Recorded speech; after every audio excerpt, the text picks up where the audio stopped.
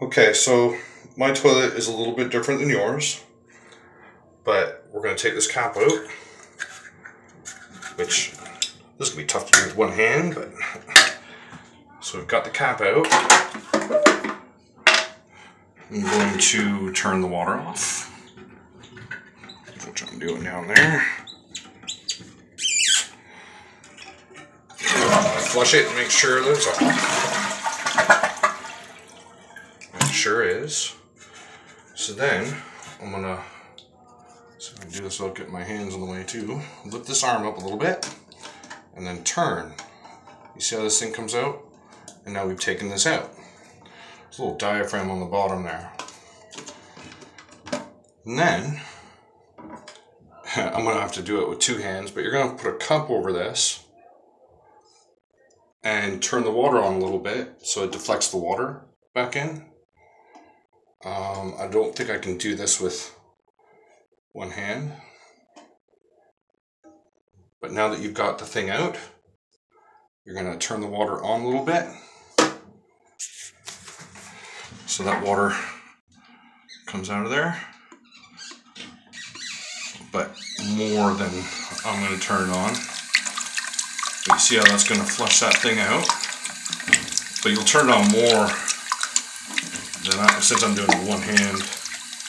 You know, put a cup over top of it and turn it on a little bit more so it pushes anything that's stuck out in there. Turn it back off. And this little diaphragm right here should feel pliable. You see a little rubber gasket there. If it seems hard, it doesn't seem like soft rubber, then you might need a new little diaphragm right there. You can get those at any hardware store. It's for a Fluidmaster fill valve. You're going to put this back in. You see how this pops right back in. And then you're using the arm to turn it and lock it into place. Which I'm having a little trouble with.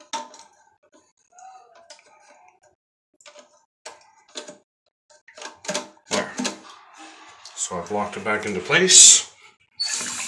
And I turn the water back on.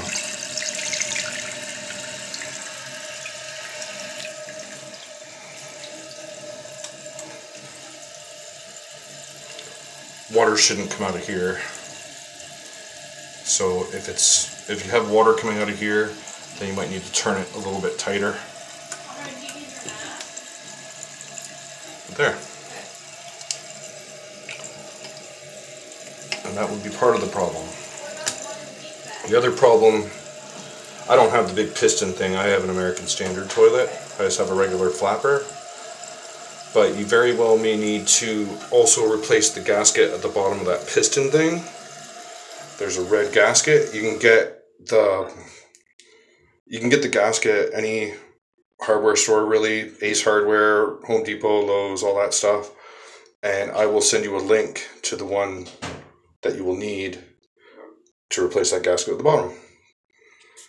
Let me know if that helps you out, and um, we could certainly take it from there. Bye.